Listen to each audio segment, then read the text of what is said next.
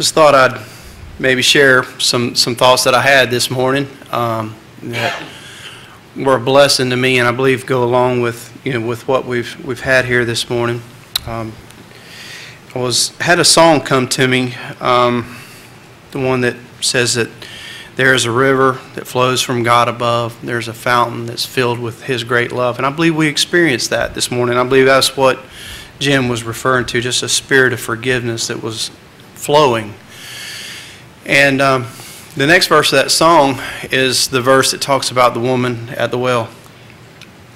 It says there was a thirsty woman sitting at a well. Her life was ruined and wasted, and her soul was bound for hell.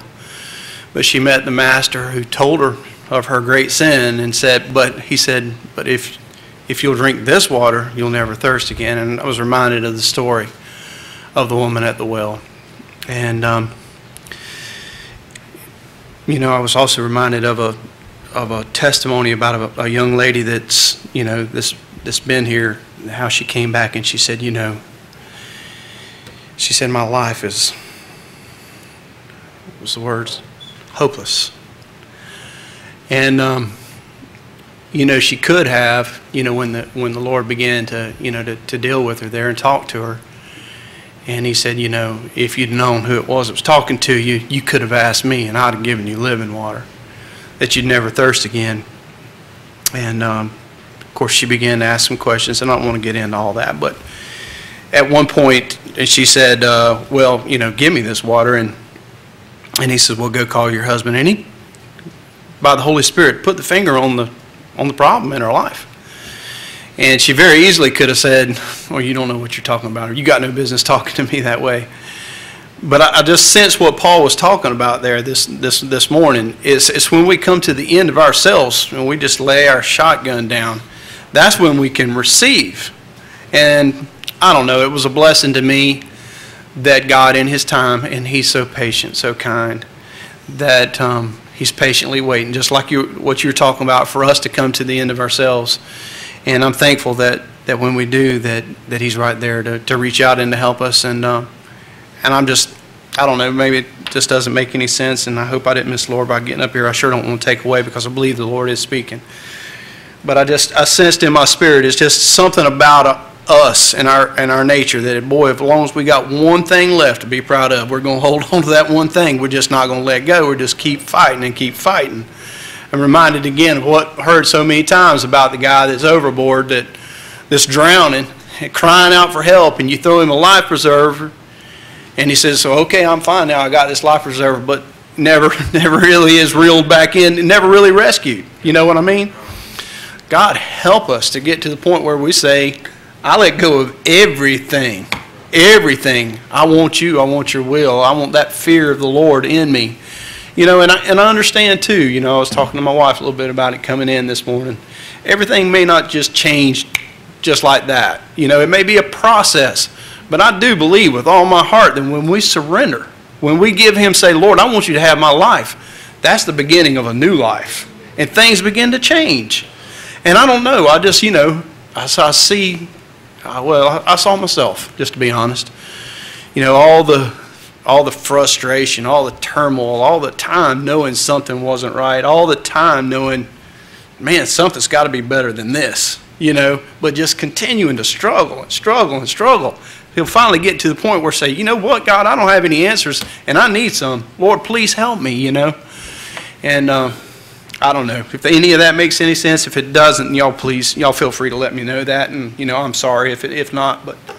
I love the Lord and I believe He's doing something, you know. I believe He's doing something in my life. And, um, and I believe you, I don't believe this is just for one person. I mean, I believe that there's people that need help, you know, but they're continuing to just wrestle in their own strength, you know, and the Lord's just pleading with us, you know, don't you know I got something better for you? I got some living water. I got something. You come out here till you turn blue in the face and pitch your pitcher down in that well and reel it back up, but it's never going to really satisfy you know.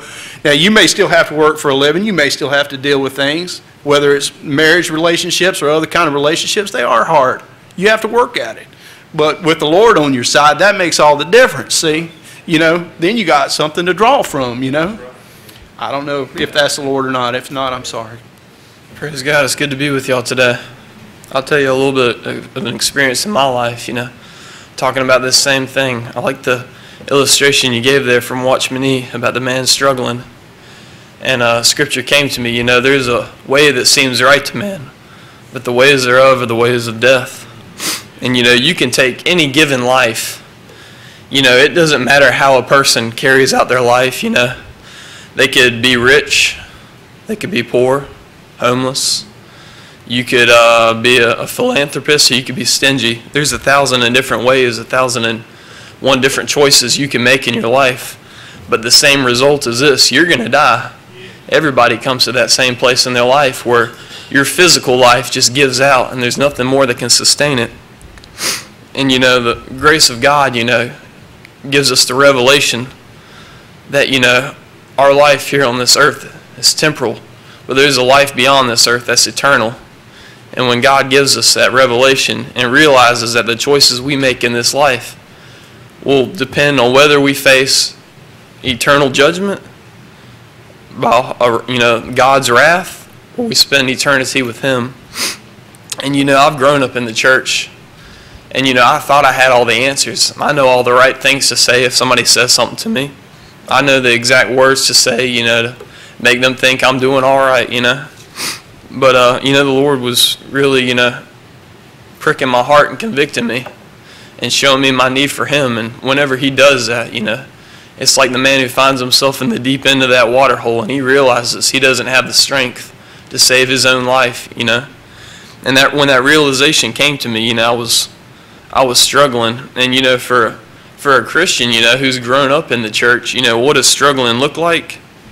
You know, when you realize that if you don't do something, you're going to drown.